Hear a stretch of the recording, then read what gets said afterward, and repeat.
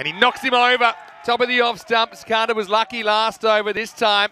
He's fresh out of luck. Abid Ali rocks his stumps and Pak I Care lose two early ones. It's eight for two. Well, there's a boil over on the cards. It could be. Hira Sabadell. Went into today not favoured really to get over Pak Montcada. They did that.